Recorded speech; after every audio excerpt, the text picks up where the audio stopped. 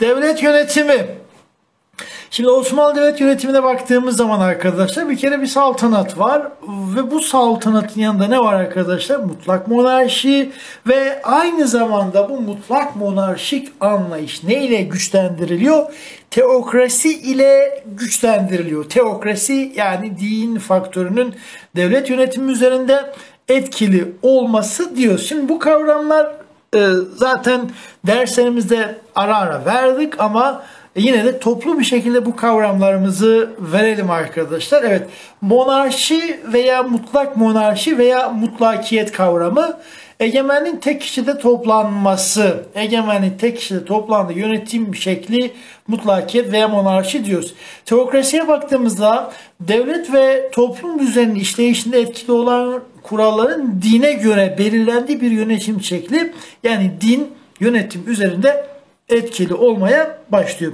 Şimdi Osmanlı'ya baktığımız zaman Osmanlı baştan beri e, mutlakiyetin olduğu, monarşinin olduğu bir devlet ve aynı zamanda şerri kurallar, şerri yani dini kurallar olduğu için aynı zamanda baştan beri de Osmanlı teokratik bir devlet ama Osmanlı özellikle Mısır seferiyle birlikte halifeliği ele geçirmesi Osmanlı'yı tam bir teokratik devlet özelliğine büründürdüğünü unutmayalım.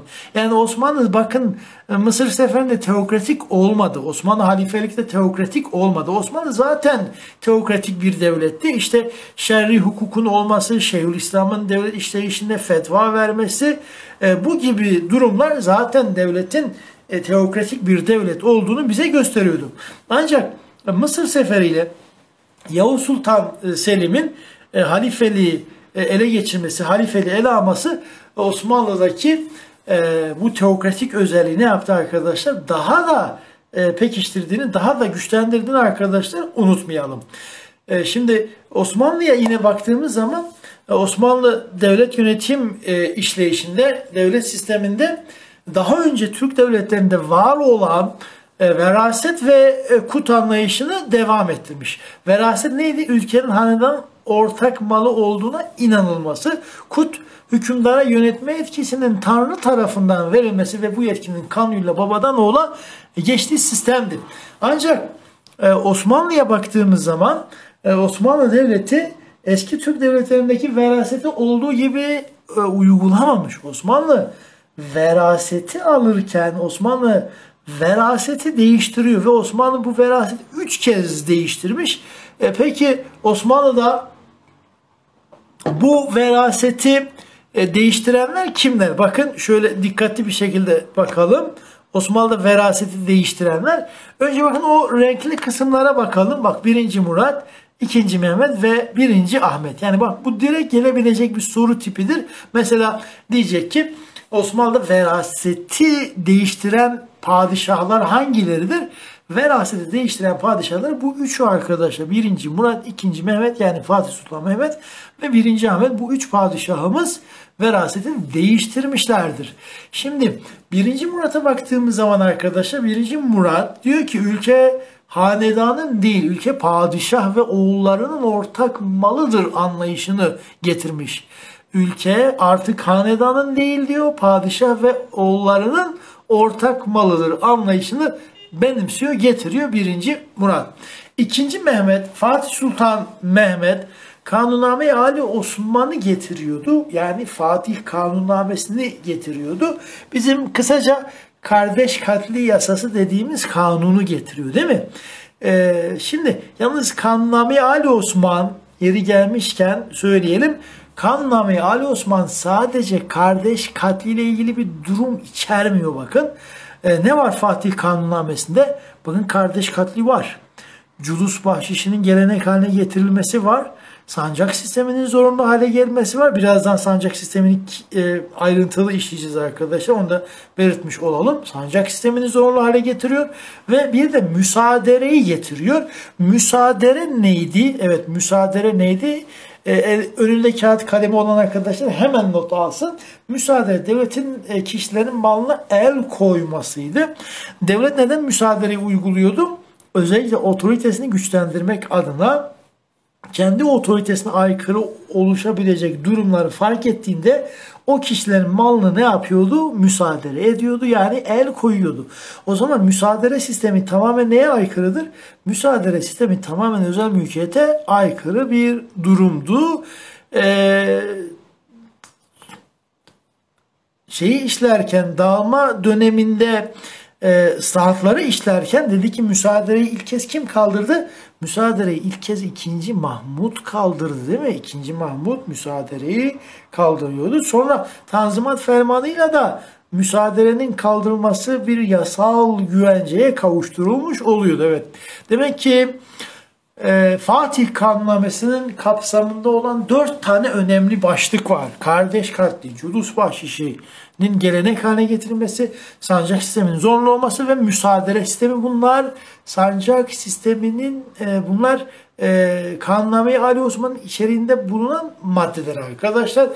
Tabii bizi burada ilgilendiren kısım ne arkadaşlar? Kardeş katli yasası. Şimdi e, kardeş katli yasasıyla e, birlikte artık hükümdar olanlar ne yapabilir? Hükümdar olanlar kardeşlerini öldürebilir. Peki e, neden bu getiriliyor arkadaşlar? Şimdi mesela e, kardeş katli gelmeden önce e, kavgaları çok fazla oluyor ve bu da devleti e, yıpratıyor. Devleti özellikle dışa karşı zayıflatabiliyordu arkadaşlar. Unutmayalım özellikle tat kavgalarını önlemeye yönelik. Peki Fatih'in getirdi bu sistem. Kardeş katli sistemi arkadaşlar veraseti kesinleştiriyor mu? Tat kavgalarını bitiriyor mu? Hayır. Bakın dikkat. Tat kavgası yine devam edecek. Çünkü hem e, birinci Murat zamanında hem de Fatih zamandaki getirilen bu iki uygulama da tat kavgalarını bitirmiyor. Tat kavgalarını azaltıyor. Şimdi birinci Ahmet'e geliyoruz. Birinci Ahmet Ekberi Erşet veya Ekberiyet dediğimiz bak Ekber Erşet veya Ekberi Erşet veya ekberiyet dediğimiz sistemi getiriyor. Ekberiyet sistemiyle birlikte artık Osmanlı tahtına kim geçecek? En akıllı ve en yaşlı yani hanedan en olgun üyesi kimse o Osmanlı tahtına geçecektir. Şimdi devletin başına e, artık e, geçecek kişi en olgun kişi olacaktı ve bu sistemle beraber yani ekberiyetle birlikte diyoruz ki veraset ne oldu arkadaşlar? Kesinleşti. Unutmayalım sorularda geliyor. Diyor ki veraset ne zaman kesinleşti? Neyle kesinleşti? Veraset 1. Ahmet zamanında ekberiyet sistemiyle kesinleşti diyoruz. Evet veraset ekberiyet sisteminin gelmesiyle birlikte e, kesinleşmiştir. Ve bu sistemin tabi e, faydaları da var, zararları da var. Bakın dikkat edelim ekberiyetin faydası da var, zararı da var. Ekberiyetin faydası nedir? Ekberiyetle beraber bir tat kavgası bitti. Bu bir yarar görünüyor. İki kardeş katli bitti. Bu da yarar görünüyor. Ee, ancak arkadaşlar e, olumsuz sonuçlar çok daha kötü olmuştur. Çünkü e, ekberiyetle beraber artık verasetin kesinleşmesiyle beraber bir kere e, rekabet kalmadı. Rekabet bitince hükümdar çocuklar da kendilerini hiçbir şekilde geliştirmeden tahta geçmeye başladılar. Yani e, amaç arkadaşlar aslında iyi değil mi? Taht kavgalarını bitirelim, kardeş katlini bitirelim, devleti güçlendirelim. Yani niyet bu yönde ama sonuç ne oldu? Sonuç daha kötü çünkü rekabet bitti. Rekabet bitince artık hükümdar çocukları kendilerini geliştirmeden tahta geçmeye e, başladılar arkadaşlar bu şekilde. Şimdi not diyoruz arkadaşlar. Notumuza dikkat. Osmanlılar değişik zamanlarda verasette yaptıkları bu değişikliklerle taht kavgalarını önleyerek merkezi otoriteyi güçlendirmeye çalışıyorlar. Yani bunların amacı bu her üçünün de amacı bakın taht kavgalarını önleyip merkezi otoriteyi güçlendirmek. Yani bak diyelim ki e, bir birinci Murat, iki işte ikinci Mehmet, e, üç birinci Ahmet sonra yaptıklarını anlasa sonra dese ki bunlardan hangileri merkezi otoriteyi güçlendirmeye yöneliktir? Üçü de merkezi otoriteyi güçlendirmeye yönelik yapıldı. Bakın her üçü de merkezi otoriteyi güçlendirmeye yönelik yapıldı. Peki dese ki hangileri merkezi otoriteyi güçlendirmiş? O zaman biri alacağız, ikiyi alacağız ama üçü almıyoruz arkadaşlar. Çünkü 1. Ahmet'in getirdiği bu sistem her ne kadar merkezi otorite güçlendirmeye yönelik yapılsa da sonuç itibariyle Osmanlı'nın daha kötüye gitmesine sebep olduğunu unutmayın. Yani amaç evet merkezi otorite güçlendirmek ama sonuç ne oldu? Sonuç maalesef hüsran Osmanlı işlerin daha da kötüye gitmesine sebep olduğunu arkadaşlar unutmayalım. Şimdi Osmanlı devlet sistemine baktığımız zaman dedik ya monarşi, mutlak monarşi. Bu mutlak monarşi anlayışına baktığımız zaman e, Osmanlı'da padişahın yetkileri dedik ilk kez ne zaman kısıtlandı? Senede ittifakla kısıtlandı değil mi? İlk kez padişahın yetkileri 1808. İkinci Mahmut zamanında yapılan senede ittifakla kısıtlanıyordu. Daha sonra Tanzimat Fermanı'yla da padişahın yetkileri bu sefer yasa ile sınırlandırıldı. Bakın ifadelere dikkat, ince ayrıntılara dikkat etmemiz lazım. Padişahın yetkileri ilk kez ne zaman kısıtlandı dese senedi ittifak. Padişahın yetkileri e, ilk defa neyle yasa ile kısıtlandı? Tanzimat'ta yasa ile kısıtlandığını unutmuyoruz. Senedi ittifak 1808, Tanzimat 1839. Senedi ittifak 2. Mahmut Tanzimat Fermanı Sultan Abdülmecid zaten dedik. Fermanlar padişah kimdir? Abdülmecid'dir dedik. Osmanlı'daki arkadaşlar monarşik anlayış, mutlak monarşik anlayış 1876 yılında ilan edilen kanuni esasıyla ilk kez değişti. Evet, kanuni esası arkadaşlar e, dün soru çözerken bahsettik. Ondan önce konularda ayrıntılı olarak bahsettik. Kanun esası neydi arkadaşlar? Kanuni esası e, Osmanlı'nın ilk anayasası. Özellikle Belçika ve Prusya örnek alınarak yapılmış bir anayasa olduğunu unutmayalım. Kanuni esasının. Bir de ne vardı arkadaşlar? Mecelle vardı. Mecelle neydi? Mecelle Osmanlı'nın medeni kanunu. Bak ikisi karışmasın. Mecelle medeni kanun. Kanuni esası ise Osmanlı'nın anayasası. ilk anayasa, başka da anayasası yoktu. İşte kanuni esasıyla beraber Osmanlı'da iki meclisli bir sistem başlıyor. Bir ayan meclisi, bir mebrusan meclisi. Ayan meclisini kim seçiyor? Padişah. Ömür boyu görevde kalıyor. Tamamen demokrasiye aykırı. Mebrusan meclisini kim seçiyor? Padişah, e, halk seçiyor. Ve 4 yılda bir seçimle geliyor bunlar. O zaman mebrusan meclis demokrasiye uygun. İşte halkın yanında bir meclisin olduğu sistem ne oluyordu arkadaşlar? Meşrutiyet. Bakın az önce dersimizin başında dedi ki tek kişi egemenliği nedir? Monarşi, mutlaki. O tek kişinin yanında bir de meclis olursa ne oluyor? İşte meşrutiyet. Osmanlı Devleti kanuni esası ilan ediyor ve kanuni esası ilan eden Osmanlı Devleti mutlak monarşik anlayıştan meşruti monarşiye geçiyor. Böylece Osmanlı ilk defa rejim değişti ya da ilk defa yönetim biçimi değişti.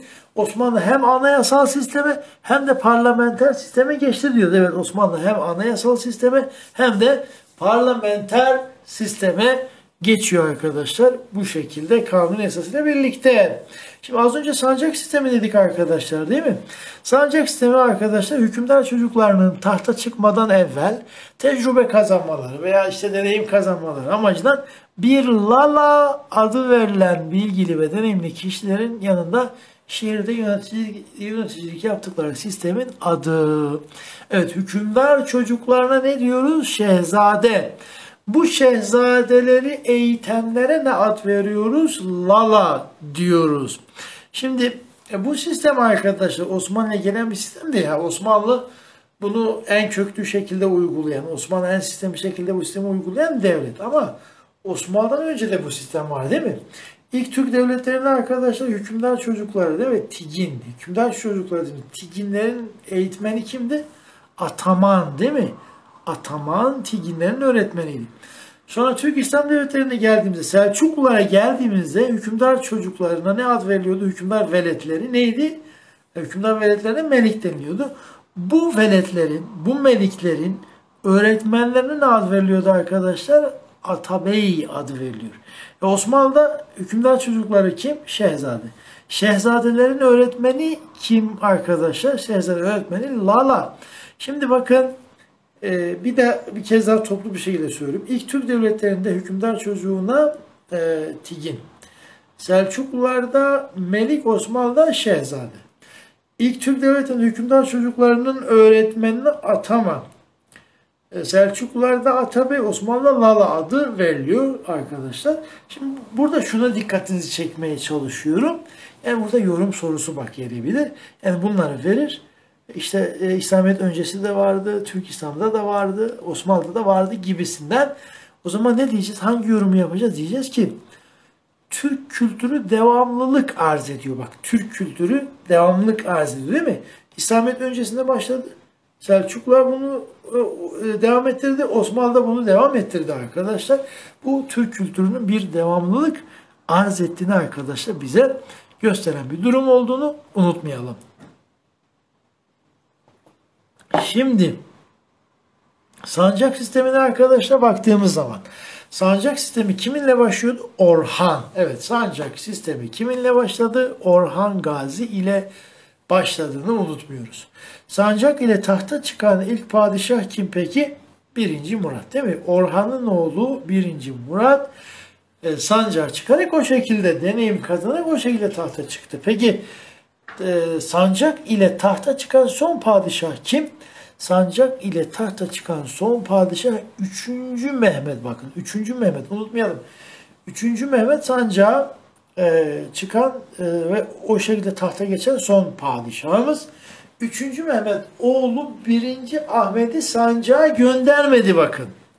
1. Ahmet'i sancağa göndermedi. Yani 1. Ahmet sancağa çıkmadan hükümdar oldu. 1. Ahmet sancak sistemine tabi olmadan tahta geçti ve Ahmet geldikten sonra Ahmet dedi ki madem ben sancağa çıkmadım benden sonra hiç kimse sancağa çıkmayacak. Yani fiili olarak aslında e, bu sistemi kaldıran kim? Üçüncü Mehmet bakın. Fiili olarak e, oğlunu göndermiyor ve bu sistemi kaldırıyor. Ama yasal olarak bu sistemin kimin tarafından kaldırıldığını arkadaşlar söylüyoruz. Birinci Ahmet yasal olarak sancak sistemini kaldırıyor. Sancak gene neyi getiriyor arkadaşlar? Kafes usulünü getiriyor. İşte hem ekberiyet sisteminin gelmesi hem kafes usulünün gelmesi Osmanlı merkez otoritesinin bozulması, yeteneksiz kişilerin Osmanlı padişahı olmasına sebep olduğunu arkadaşlar unutmayalım. Şimdi Osmanlı'da arkadaşlar şöyle biraz daha yaklaştırmaya çalışalım. Belki okuyamayabilirsiniz arkadaşlar. Kusura bakmayın. Şimdi Osmanlı'daki arkadaşlar e, reaya yönetilen sınıf yani halk demek. Arkadaş çiftçi, tüccar, sanatkar, halk bunlar arkadaşlar reaya oluyor. Yöneten sınıf arkadaşlar, yöneten sınıf 3 kısma ayrılıyor. İlmiye sınıfı, kalemiye sınıfı ve seyfiye sınıfı olarak 3 tane sınıf var. Evet Osmanlı'daki yönetici sınıf ilmiye, kalemiye ve seyfiye sınıfları olduklarını unutmayalım. İlmiye sınıfına baktığımız zaman Osmanlı işi adalet olanlar, evet işi din olanlar ve aynı zamanda eğitim olanlar ilmiye sınıfı. Evet yazılar okuna e, mu arkadaşlar? Evet adalet, din ve eğitim işlerine bakanlar arkadaşlar ilmiye sınıfı. Yani yaptığı iş adaletle ilgili ise, yaptığı iş dinle ilgili ise, yaptığı iş eğitimle, dinle, adaletle ilgili ise bunlar arkadaşlar e, ne oluyor? Bunlar e, bunlar için ne diyoruz? E, ilmiye sınıfı diyoruz. Şimdi ilmiye sınıfına baktığımız zaman arkadaşlar şöyle biraz daha yaklaştırırsak en azından bu kısım için şöyle daha iyi değil mi? Şimdi bu şekilde daha iyi. Evet donma sizin e, şeyden kaynaklı olabilir arkadaşlar. Bir de kalp atmayın. Bazı arkadaşlar sabote ediyor böyle kalp atarak. Evet şimdi e, ilmiye sınıfının mutlaka medrese eğitimi alması lazımdı. İlmiye sınıfının mutlaka ve mutlaka medrese eğitimini alması lazımdı arkadaşlar. Medrese eğitimi almayanlar, evet medrese eğitimi almayanlar arkadaşlar e, ilmiye sınıfına dahil e, olamazdı. Şimdi e, bu sınıfa dahil olanlar kimler? Evet bu sınıfa dahil olanlar kimler arkadaşlar? Bu sınıfa dahil olanlara baktığımız zaman e, kazasker. Evet kazasker bu sınıfın en önemli temsilcilerinden biri bakın kazasker. Şeyhül İslam. Evet kazasker. Şeyhül İslam. Kadılar. Müderrisler. E, nakıbul Eşraf. Evet Nakıbul Eşraf. Nakıbul Eşraf kim peki arkadaşlar? Peygamber Efendimiz, evet Peygamber Efendimizin soyundan gelenler. Seyit ve şeriflerin kaydını tutan kişilere ne diyoruz? Nakıbul Eşraf diyoruz. Bakın bu sınıfın en dikkat çekici e, üyesi kim arkadaşlar? Nakıbul Eşraf. Bakın Kazasker, Şeyhül İslam, Kadı, müderris ve nakıbul eşraf. İşte cami hocaları, imamlar, müezzinler bunlar da bu sınıfa dahil olduklarını arkadaşlar unutmayalım.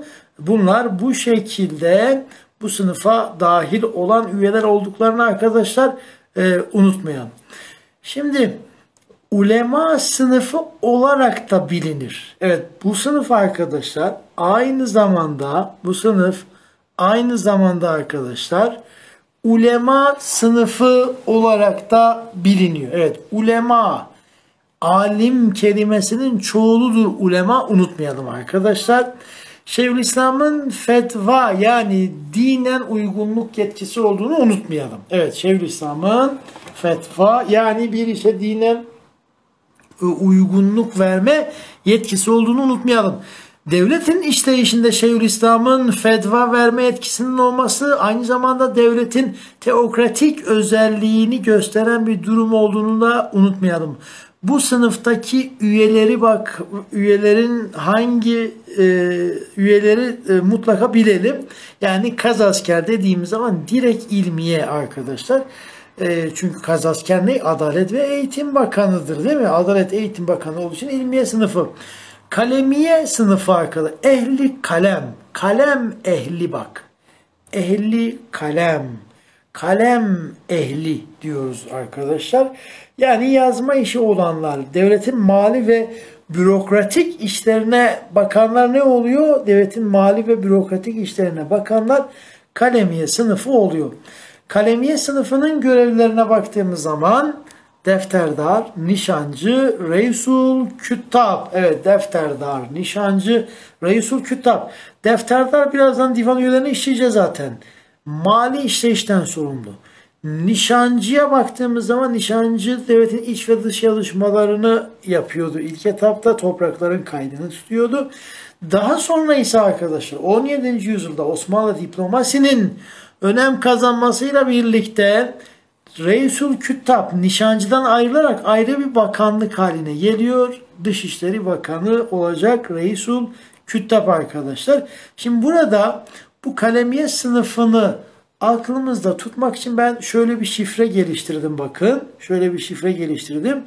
Diyoruz ki defteri, kitabı kalemle nişanladık bakın. Defteri, defterdar, kitabı, Reisul Küttab, kalemle, kalemiye, nişanladık, nişancı. Defteri, kitabı, kalemle nişanladık. Bunlar kalemiye sınıfının mensupları. Yani aşağıdakilerden hangisi kalemiye sınıfının mensuplarıdır dediği an aklımıza bu gelsin. Defteri, kitabı, kalemle ne yaptık? Nişanladık diyoruz. Bunlar kalemiye sınıfının mensupları arkadaşlar olacak. Ondan sonra Seyfiye sınıfı. Seyfiye kılıç ehli diyoruz. Ehli seyf arkadaşlar. Evet kılıç ehli. Ehli seyf diyoruz. Ee, ehli seyf. Seyfullah e, kelimesini e, duyduk arkadaşlar değil mi? Biliyoruz Seyfullah. Ne demek Seyfullah? Ee, Seyfullah Allah'ın kılıcı demek değil mi? Seyfullah Allah'ın kılıcı. Seyf ne demek o zaman arkadaşlar? Seyf kılıç kılıç ehli olanlar, savaşanlar arkadaşlar e, ne oluyor? Seyfiye sınıfına giriyor. Bunlar savaşçılardı. Bunlar devleti koruyan, asayişi sağlayan, sınırları koruyan sınıftır. Üst düzey yöneticiler ve askerlik işlerine bakanlar Seyfiye sınıfının mensupları arasında yer alıyorlar. Şimdi Veziri Azam. Evet Veziri Azam yani Sadrazam değil mi? Veziri Azam yani Sadrazam arkadaşlar. Sadrazamlık sistemi Osmanlı'ya ne zaman girmişti? Sadrazamlık sistemi Osmanlı'ya birinci Murat zamanıyla beraber girdiğini unutmayalım. Vezirlik sistemi Orhan, Veziri Azam e, Orhan e, 1. Murat zamanıyla girdiğini unutmuyoruz arkadaş. Vezirler yani devlet bakanları, Yeniçeri Ağası, Kaptanı Derya, Beylerbeyi, e, Sancak Bey'i bu sınıfın e, içinde olan önemli görevler olduklarını unutmayalım. Birazdan divan üyelerini işleyeceğiz. Divan üyelerini işlediğimiz zaman e, bu kimin hangi sınıfa mensup olduğu daha iyi oturacak arkadaşlar. O için böyle panik yapmayın.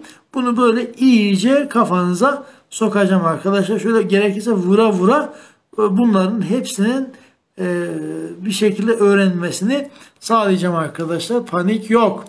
Evet şimdi Osmanlı Devleti'nde arkadaşlar divanlar. Evet Osmanlı Devleti'nde divanlar diyoruz. Tabi en büyük divan hangisi? Divanı Hümayun değil mi? En büyük divan Divanı Hümayun. Onu zaten birazdan işleyeceğiz. Ama onun dışında küçük çaplı divanlar vardı. Osmanlı'da küçük çaplı divanlar vardı. Sefer Divanı Sadrazam sefere çıkarken toplanan divan arkadaşlar e, Sefer Divanı diyoruz. Ulufe Divanı, Ulufe neydi? Yeniçerilerin aldıkları maaştı. İşte e, Ulufe Divanı ne zaman toplanıyordu? Kapı kulu maaşları verileceği zaman, bununla ilgili bir durum görüşüleceği zaman Ulufe Divanı toplanıyor. Galebe Divanı yabancı ile elçilerin kabulü sırasında toplanan divan. Evet dışarıdan bir elçi geldiği zaman toplanan işte merasimi düzenleyecek olan, töreni düzenleyecek olan protokol kurallarını düzenleyecek olan hepsi hangisiydi? Galebe divanıydı. Ayak divanı olağanüstü durumlarda toplanan divan. Evet, ayak böyle hemen alelacele hemen bir sıkı yönetim olacak. Bir olağanüstü durumu olacak. O durumlarda ayak divanı toplanıyordu. At divanı e, ilginç bir divan değil mi? Sefer sırasında at üzerinde yapılan toplantıya ne diyoruz? At divanı diyoruz. Şimdi bunlar e, çıkma ihtimali zayıf. Çıkma yani çıkar mı? E, çıkar tabii ama ihtimal arkadaşlar çok zayıf diyorum bu divanlar için.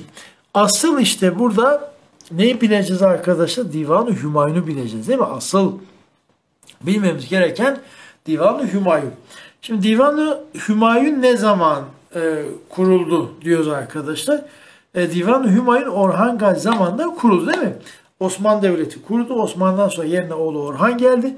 Orhan Gazi ile arkadaşlar e, Divanı Hümayun e, kuruldu. Şimdi Orhan Gazi zamanında e, kurulan e, divan zamanla ne oldu arkadaşlar? Genişledi. İşte birinci Murat zamanında, arkasından Fatih zamanında, arkasından Kanuni zamanında ne oldu? Genişledi. Üye sayıları zamanla arttı. Ve e, 2. Mehmet'e kadar yani Fatih Sultan Mehmet'e kadar divanın başkanlığını bizzat kim yapıyordu? Padişahın kendisi. Bak unutmuyoruz. E, Fatih'e kadar, Fatih Sultan Mehmet'e kadar divanın başkanlığının bizzat padişahın kendisi yapıyor. Fatih'ten itibaren divanın başkanlığı kime bırakıldı? Sadrazama bırakıldı. Bakın padişah kendisi e, çekiliyor. Toplantıları dışarıdan izliyor. Ve divanın başkanlığı kime bırakılıyor? Sadrazama. Şimdi şöyle düşünün hani desek ki işte biri meclisin başkanı bırakmış dediğimiz zaman yani sanki böyle yetkilerini bırakmış gibi geliyor bize değil mi? Yani divanın başkanı sadrazama verdi falan dediğimiz zaman sanki padişah yetkilerini devretmiş. Hayır. Padişah arkadaşlar padişah çekiliyor ancak son sözü kim söylüyor peki arkadaşlar? Son sözü padişah söylüyor değil mi? Yani her ne kadar divanın başkanlığı sadrazama bırakılmış olsa bile son sözü kim söyleyecek? Padişah söyleyecek.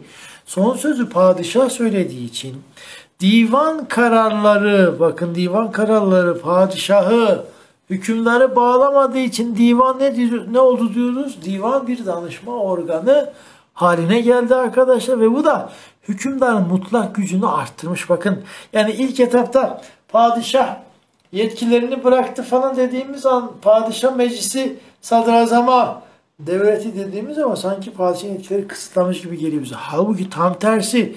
Son sözü kim söylüyor? Hükümdar söylüyor. Son sözü hükümdar söylediği için de bu hükümdar mutlak gücünü, otoritesini artırıyor. Ee, ve bu şekilde padişah daha da güçlü olmaya başlıyor. İşte biz bu meclislere danışma meclisi diyoruz. Son sözün hükümdarda e, e, olduğu ve e, meclis kararlarının veya divan kararlarının e, hükümdarı bağlamadığı durumlar hangisi oluyor? Danışma meclisi arkadaşlar oluyor diyoruz. Şimdi sonra ne oldu? 17. yüzyıldan itibaren sadrazamların konaklarında yani Baba Ali'de yapılmaya başlandı. Baba Ali kelime anlamı yüksek kapı, yüce kapı demek arkadaşlar. Osmanlı'da başbakanlık için kullanılıyor. Unutmuyoruz. Baba Ali Osmanlı'da başbakanlık için kullanılıyordu. E sadrazam eşittir başbakan değil mi? Şimdi 17. yüzyılda sadrazamlar bu toplantıları alıp kendi konaklarında yapmaya başladı. İşte bu merkez otorite ne yapıyor? Zayıflatıyor. Bakın bir üstteki maddede, bak bir üstteki maddede divanın başkanlığı sadrazama bırakılması merkez otorite güçlendiriyor. Çünkü sonsuzu kim söyleyecek artık? Padişah. Ama 17. yüzyılda sadrazamların bunu götürüp kendi konaklarında yapmaya başlaması merkezi otoritenin zayıfladığının açık bir kanıtı olduğunu unutmayalım. Tabi e, daha sonraki süreçte zaten divan bozuluyordu, fonksiyonunu yitiriyordu. Divanın bozulup fonksiyonu yitirmesiyle beraber ikinci Mahmut arkadaşlar divanı kaldırdı. Divan yerine neyi getiriyor? Nazırlık yani bakanlıkları kurdu. İkinci Mahmud'u işlerken zaten ikinci Mahmud'un kurduğu bakanlıklardan bahsettik. İkinci Mahmud zamanında hangi bakanlık kurulmamıştı? Hangi bakanlık oluşturulmamıştı arkadaşlar? Evet. Hangi bakanlık yoktu ikinci Mahmud zamanında? Ee, Marif Nazırlığı, Marif Nezareti yani eğitim henüz oluşturulmamış. O ne zaman oluşturulmaya başlandı? Tanzimat döneminde oluşturulmaya başlandı arkadaşlar diyoruz. Divanda alınan kararlar arkadaşlar mühimme defterine kaydedilir. Mühimme. Mühim ne demek mühim arkadaşlar? Önemli değil mi? Divan kararları çok önemliydi. Divan kararları önemli olduğu için mühimme defterine kaydedildiğini unutmayalım. Sorularda arkadaşlar gelebilir. Ee, divan toplantılarının, divanda alınan kararlarının kaydedildi defterin adı nedir? Ee, mühimme e, defteri arkadaşlar diyoruz. Şimdi divan üyeleri ve görevleri. Evet. İşte bu kısım arkadaşlar e, çok iyi bilmemiz lazım. Evet divan üyeleri ve bu divan üyelerinin görevleri arkadaşlar. Evet veziri azam yani sadrazam değil mi? Veziri azam sadrazam bugünkü başbakan arkadaşlar. Şimdi sadrazam hangi görev ve yetkilere sahipti arkadaşlar? Sadrazam e, padişah sefere çıktığı zaman bak padişah sefere e, çıktığı zaman zaten e, komuta emir komuta kimde? Padişah'ta. Ama padişah sefere çıkmadığı zaman padişah sefere çıkmadığı zaman padişahın yerine orduya kim başkomutanlık yapıyor? Serdar Ekrem sıfatıyla veziri azam. Evet unutmayalım. Serdar Ekrem sıfatıyla orduya komutanlık yapan görevli devlet görevlisi divan üyesi kim arkadaşlar? Sadrazam veya veziri azam diyoruz arkadaşlar. Veziri azam aynı zamanda padişahın vekili olup aynı zamanda padişah mührünü taşırdı. Unutmuyoruz. Padişahın mührü arkadaşlar kimdeydi? Padişahın mührü sadrazamdaydı, veziri azamdaydı arkadaşlar. Vezir azam tektir bak unutmayalım vezir azam tektir. Yani kuruluşundan yıkılışına kadar arkadaşlar veziri azam tek yani iki tane veziri azam aynı anda görülmemiş arkadaşlar. Vezirler e, günümüzdeki devlet bakanları arkadaşlar. Günümüzdeki devlet bakanlarına vezir diyoruz.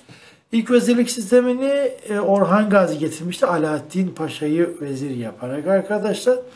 Ve vezir sayısına baktığımız zaman vezir sayıları sınırların genişlemesine paralel olarak artmış. Bakın sınırların genişlemesine paralel olarak yani doğru orantı olarak onlar da artmış. Ee, vezir sayısı e, kuruluş döneminde 2 idi. E, Fatih zamanında bu e, vezir sayısı 4 olmaya başladı. Kanuni zamanda da 7 olmaya başladı. 2, 4, 7 bakın e, gittikçe artıyor. Bakın üye sayısı artıyor. Üye sayısının artması neyin neyden kaynaklanıyor? Ee, sınırların genişlemesinden kaynaklı. Yani sınır genişledikçe arkadaşlar e, devletin yönetici ihtiyacı ne olacak? Artacak diyoruz. Şimdi defterdar arkadaşlar. Defterdar Osmanlı Maliye Bakanı değil mi? Osmanlı Maliye Bakanı devletin gelir ve giderlerinin hesaplanmasından aynı zamanda hazineden sorumlu devlet bakanı defterdardı. Defterdar sayısı da arkadaşlar önce birdi sonra yükselme döneminde iki oldu arkadaşlar. Evet birken iki oldu. İki olunca Anadolu kazaskeri ve Rumeli kazaskeri diye iki kazasker oldu değil mi? Anadolu kazaskeri ve Rumeli kazaskeri diye iki kazasker oldu arkadaşlar. E, unutmayalım. Ve şunu da belirtmiş olalım. Rumeli'deki yetkililer, Rumeli'deki görevler her zaman rütbe olarak bir derece daha üstün. Evet, Rumeli'dekiler her zaman rütbe olarak bir derece daha üstün olduğunu arkadaşlar unutmayalım. Şimdi nişancı, nişancı Turai, Turacı demek arkadaşlar. Devletin tabu kadastro işlerine bakıyor. Toprakların dağıtımından sorumluydu. Ee, yazılara padişahın tuğrasını çekerdi. Ve aynı zamanda devletin iç ve dış yazışmalarını yapardı ilk etapta. Devletin iç ve dış yazışmalarını yapardı. Daha bir daha sonra Reisül Kütap ortaya çıkınca sadece iç yazışma kaldı nişancıda. Nişancı sayısı bakın hep birdir. Unutmayalım bazen sorularda geliyor. Mesela diyor ki vezir, defterdar, e, nişancı, kazasker. Yani böyle veriyor arkadaşlar. 1, 2, 3, 4 şeklinde veriyor. Diyor ki işte e, hangilerinin e, sayısı sınırların genişlemesine paralel olarak artmamış ve sınırların genişlemesine paralel olarak artmayan hangisidir arkadaşlar? Nişancı nişancı hep birdir. E, zaten diplomasi önem kazanınca Reisül Küttab oradan alınıyor. Ayrı bir bakanlık haline e, getirilmiş oldu arkadaşlar. Kazasker e, Osmanlı'daki Adalet ve Eğitim Bakanı. Evet Osmanlı Adalet ve Eğitim Bakanı arkadaşlar e, hangisidir? Kazaskerdir. Kazasker arkadaşlar mesela adalet olarak ne iş yapardı? Kadıların atamasını yapardı. Aynı zamanda divana bakın. Divan bir temyiz yeriydi, bir itiraz yeri, düzeltme yeriydi. Divan eğer bir e, karar e, divana gelirse yine divandaki e, başkanlığı kim yapıyordu? Kazasker yapıyordu arkadaşlar ve kazasker mahkemelerde söylediği söz son söz olarak geçerli olduğunu unutmayalım. Şimdi e, Kazaskere'ye baktığımız zaman yine bakın sayı bir kendi olmuş? 2. Yani önce bir sonra 2 oluyor. Sayının birden ikiye çıkması arkadaşlar neyden kaynaklı bir e, durum? Yine e, sınırların genişlemesinden kaynaklı bir durum olduğunu arkadaşlar unutmayalım. Şimdi divan üyelerine devam ediyoruz arkadaşlar. Şeyhülislam ya da müftü ya da ikinci Mahmud zamanında Babı Meşihat'a dönüşüyor değil mi? Babı Meşihat unutmayalım. Babı Meşihat ikinci Mahmud zamanında divan adı olacak. Ulemanın başıydı. Yapılacak işlerin dine uygunluğu konusunda fetva verme yetkisine sahip yetkili kimdi arkadaşlar? Şeyhül İslam olduğunu unutmayalım. Özellikle manevi olarak gücü vardı arkadaşlar. Manevi gücü vardı Şeyhül İslam'ın. Kaptanı Derya Donanma Komutanı olup denizlerden sorumludur. Ee, Kaptanı Derya olarak divana katılan ilk Kaptanı Derya bak divana katılan ilk Kaptanı Derya kim? Ee, Barbaros e, Hayrettin Paşa olduğunu arkadaşlar unutmayalım. Reisul Küttab Devletin Dışişleri Bakanı Evet Reisul Küttab Devletin Dışişleri Bakanı önceleri nişancıya bağlı bir katipti. Evet önceleri nişancıya bağlı bir katipti, bir yazıcıydı.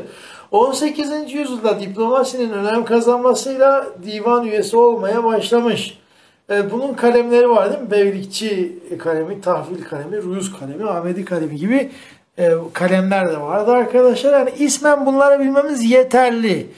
Yani e, çok çok hani böyle derine inelim deseniz veya alana çalışacak arkadaşlar bilsin ama onun dışında bir genel kültür, genel yetenek sınavı için işte beylikçi kalemi ne iş yapar, tahvil kalemi ne iş yapar, Rus kalemi ne iş yapar, e, işte Ahmedi kalemi ne iş yapar e, arkadaşlar bu kısımlara girmemize e, gerek yok diye düşünüyorum. Yeniçeri Ağası İstanbul'un Emniyet Müdürü'ydü. İstanbul'un özellikle gündüz güvenliğinden sorumlu arkadaşlar. Aynı zamanda divanın devamlı üyesi olmayıp gerekli görüldüğünde divana çağırır. Yani bir mesele varsa adamı çağırıyorlar, çağırıyorlardı. Adamın görüşünü alıyorlardı. Sonra hadi sen gidebilirsin deniliyordu. Şimdi unutma diyoruz arkadaşlar. O, o kısma dikkat. Sorularda geliyor 1 2 3 diye öncüllü olarak da geliyor arkadaşlar. Şeyhülislam e, Kaptanı Derya ve Reis Hüküt'te bunlar divana sonradan üye olanlar. Bakın bunlar divana sonradan üye olanlar o, e, olduklarını arkadaşlar unutmayalım. Şeyhülislam ve e, Kaptanı e, Derya 16. yüzyılda Kanuni zamanında Reisül Kütab ise 17. E, 17. E, yüzyılda artık diplomasinin önemi arttı ve Reisül Kütab'da divan üyesi olmaya e, başladı arkadaşlar. Bu şekilde. Evet, şimdi bir geri gelelim arkadaşlar. Geri gelelim. Şimdi sınıflarla ilgili bakın. Burada biraz bir soru cevap yapalım. Bir soru cevap yapalım arkadaşlar burada. Şimdi e, ben e, divan üyesi söyleyeceğim. Yani hangi divan üyesi olduğunu söyleyeceğim. Siz bunun hangi sınıfa mensup olduğunu bilin. Bak dedi kaç tane sınıf var? Üç tane sınıf vardı değil mi arkadaşlar? Bak üç tane üç tane sınıfımız vardı. İlmiye sınıfı, e, kalemiye sınıfı ve seyfiye sınıfı arkadaşlar. Üç tane e, sınıfımız e, vardı. Evet kadı ile kazasker. Kadı e, yargıç hakim. Kazasker ise adalet bakanı. Yani kadı kime bağlı? Kazaskere bağlı. Yani kazasker günümüzün adalet bakanı. Aynı zamanda eğitim bakanı. Kadı ise e, o adalet bakanına bağlı e, hakim veya işte savcı yargıç e, diyebiliriz. Şimdi sınıfları söyleyelim arkadaşlar. Hangisinin hangi sınıfa mensup olduğunu arkadaşlar e, unutmayalım. Şimdi e, evet vezirler. Vezir hangi sınıfın içindedir arkadaşlar? Evet vezir hangi sınıfın e, içinde? Şimdi e, vezire baktığımız zaman vezir neydi? Vezir e, yönetici kısma giriyor. Yönetici kısma girenler, vezirler hangi sınıfın içinde sayılıyor? Seyfiye sınıfının içinde sayılır. Seyf neydi? Seyf kılıç demektir arkadaşlar. Seyfiye de işte savaşçılar arkadaşlar. Buna girdiğini arkadaşlar unutmayın. Peki e, kazasker evet kazasker hangi sınıfın içindedir? Evet kazasker hangi sınıfın içindedir? Şimdi e, kazaskere baktığımız zaman dedik ki kazasker hangi işi yapar arkadaşlar?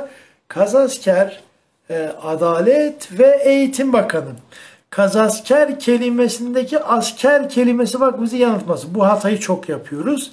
Kaz asker. E, asker varsa o zaman kılıç savaşçı. O zaman direkt Seyfiye diye giden e, arkadaşımız ama dikkat ediyoruz. Kaz askeri bak ne diyoruz? Kaz askerin askerle alakası yok. Kazla da alakası yok arkadaşlar. Kaz asker hangi sınıfın mensubu? İlmiye sınıfının mensubu arkadaşlar diyoruz. Peki nişancı hangi sınıfın mensubu? Evet nişancı hangi sınıfın mensubuydu? Nişancı dedik neydi arkadaşlar? Nişancı tuğracıydı değil mi? Hükümdarın tuğrasını kim çekerdi? Hükümdarın tuğrasını e, nişancı çekerdi. Mühür kimdeydi? Sadrazamdaydı arkadaşlar. Evet nişancı hangi sınıfın mensubu? Nişancı yazma işiyle uğraştığı için evet doğru cevaplar geldi. Nişancı yazma işiyle uğraştığı için doğal olarak hangi sınıfın mensubuydu? Kalemiye sınıfının mensubu ve zaten ne dedik? Defteri, kitabı kalemle nişanladık arkadaşlar. Evet defteri, kitabı kalemle e, nişanlamış e, olduk arkadaşlar. Peki Veziri Azam. Evet Veziri Azam yani Sadrazam. Evet Sadrazam hangi e, işi yapardı? Evet, Sadrazam arkadaşlar e, başbakandı değil mi? Sadrazam başbakan dedik arkadaşlar. E, hükümdarın, padişahın e, vekili ve aynı zamanda hükümdar hazır olmadığı zaman evet hükümdar hazır olmadığı zaman e, hükümdara vekaleti kim yapıyordu? Hükümdara vekaleti yapan veziri e, azam olduğunu arkadaşlar unutmayalım.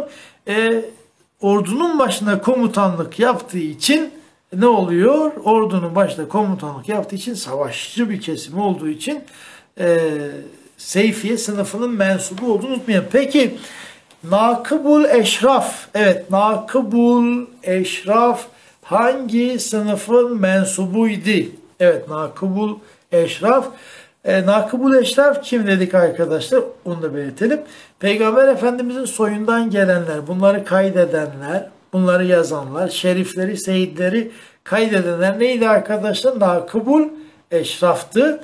E, Nakıbul Eşraf arkadaşlar e, yani dini bir durum söz konusu olduğu için ilmiye sınıfının mensubu diyoruz. Peki kaptanı derya.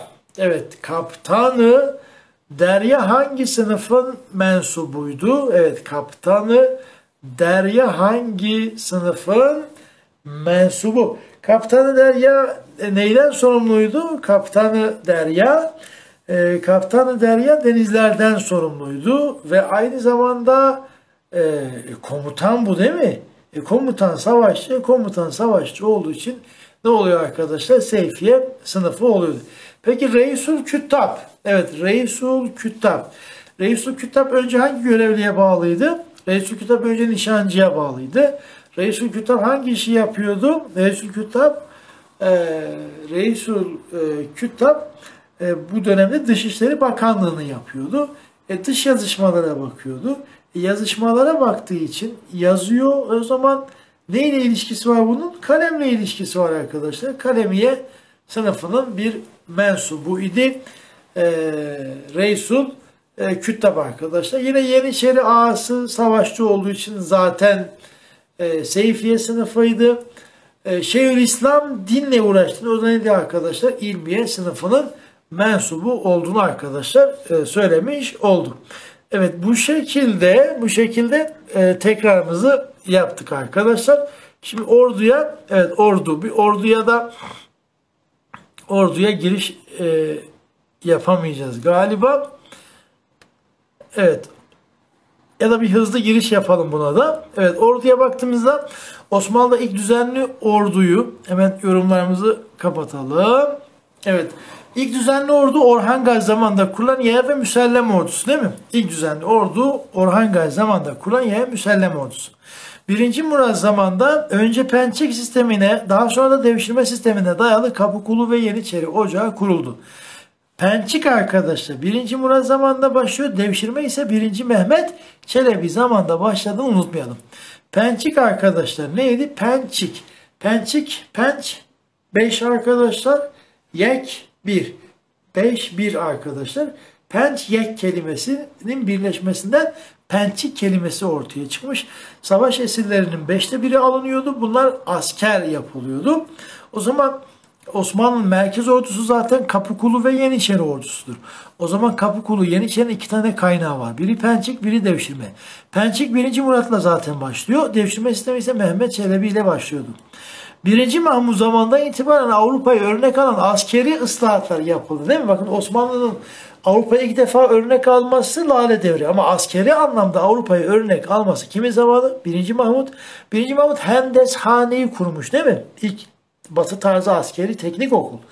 Üçüncü Selim zamanında ise Avrupa tarzı ilk ordu, ilk askeri ocak olan Nizami Cedid ordusu. Nizami Cedid ocağı arkadaşlar e, açılmış. E, Yeniçeriler Kabakçı Mustafa İsyanlar ne yaptı? Nizam Cedid'i kaldırdı. Daha sonra 2. Mahmut zamanında Sekban Cedid ve Eşkinci Ocakları kurulmuş ama Yeniçeriler bu iki orduyu da kaldırmış. Ve en son 2. Mahmut Vakayı Hayriye dün gece işledik. Vakayı Hayriye dediğimiz hayırlı olay ile Yeniçeri Ocağı'nı kökten kaldırdı. Yerine ne yaptı? Asakiri Mansuri Muhammediye dediğimiz e, orduyu arkadaşlar kuruyordu. E, ikinci e, Mahmut. Evet şimdi e, bu şekilde arkadaşlar bugünlük e, buraya kadar e, e, geldik. Yarın devam edeceğiz arkadaşlar bu geri kalan e, konularımıza. Şimdi şöyle baktığımız zaman devlet yönetiminden e, başladık. Sonra sınıflardan bahsettik. İlmiye, e, kalemiye ve seyfiye diye üç tane sınıftan arkadaşlar e, bahsettik. E, ondan sonra divan divanlardan bahsettik. Divan Hümayun'dan bahsettik. Divan üyelerinden bahsettik arkadaşlar. Ondan sonra da Osmanlı'da orduya bir giriş yaptık arkadaşlar.